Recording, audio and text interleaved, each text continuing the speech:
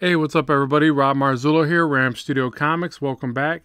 And today's video has been a long awaited video. Uh, I've actually procrastinated on this one. I'm sorry. I can't remember who requested it, but you know who you are. And hopefully this will help a few people. Uh, and it might have been a request that I had once or twice, actually more, more than just once, I believe. But uh, at any rate, this is a video on how to put a mask on a superhero or draw a superhero mask. Uh, so I'll go through a couple of the techniques for that. Uh, and this character is uh, just somebody I made up. Uh, he's a character that I I developed that I'm I'm gonna call uh, Super Super Guy. It'll probably be his name. And uh, he comes from another world, and our our sun gives him a bunch of powers, and bullets bounce off him. Yeah, I don't really know much other than that. It's just kind of an idea I've been working on, but I'll call him Super Dude for now, and then we'll uh, we'll just see. You know, maybe maybe people will like him. Maybe he'll become popular. Who knows? Okay, yeah, it's not what you're thinking, anyways. All right, so I got another layer over here. Actually, I think I created two. And uh, what I'm going to do is just sketch over top of our super guy here and give him a mask. You know, because he's got a he's got a family and he needs to hide his identity to protect them. And what better way to do that than a mask that really wouldn't hide much of anything. So you get some of these masks where they're real basic, and we'll start with that. You know, just like kind of a, uh, you know, you got goggles, you got masks, you got uh, bandanas, like you know, all, all kinds of little things you could throw in there. You got the eye openings. We'll say just some basic oval shapes like that. And, you know, depending on how techy you want this to look, it can not have a strap, I guess. You know, if it had a strap, maybe the strap would go through here. But then it looks almost more uh, basic or something. Like if it's if it's really high tech, then maybe it doesn't even need a strap. It just kind of floats there magically on his face. So that would be one way to do it. You know, a very basic kind of rudimentary mask shape like that. And then another way, let's go over to this guy over here and then we'll refine him a bit. Uh, another way would be more coverage and smaller eye openings. I particularly I like the ones that where they draw the eye opening, but for whatever reason it somehow uh, blocks their eye. You know, it's like to me, if the superhero mask didn't do that, then you know you're really going to be able to spot this dude. So let's try one where it covers the nose. You know, at least more of the face. I guess this would be reminiscent or uh, similar to like uh, you know Batman's mask or something. How it comes down, it blocks the nose. Now, one of the one of the things that I think makes the differences for the uh, the masks themselves is whether or not it might have some kind of material to go around the features of the face. And again, that I thought of that because I'm thinking of the character Batman, and obviously his mask is more like this. It's like a it's like a series of hard plastic shapes or something, you know. So you actually would draw in some of those angular effects that it takes on to trim around the face. So that's another way to do a mask.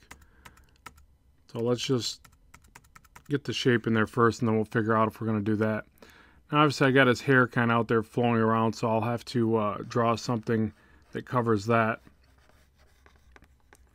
Uh, and then the other question is, is there an ear opening or is that covered? I would say covered. I mean, again, it just depends on how this character is designed. Is this a protection type helmet? You know, more than just a mask. Um, you know, so to me, if it's going to conceal their identity, it would need to go over their their head. Because if not, they'd be like, "Oh, that's so and so. Look at his flowing hair. I know that guy. I know that hairdo." You know, so which I know some of them they have masks and they they what uh, somehow hide their identity. Isn't like Green Lantern like that or something, I believe. It's pretty bad, I don't know that. What kind of nerd am I? I don't even know these things.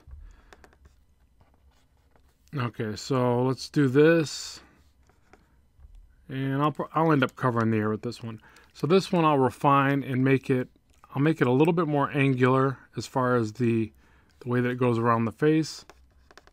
So it's more of a solid material, I guess and it'll cover a lot more of the character by the time we're done with that one. Okay, so now that gives us two basic concepts to apply to our Super Dude here, and then we can see, uh, you know, how these effects look more rendered. So uh, I'll go ahead and time lapse this next part where I render these out and see what we come up with.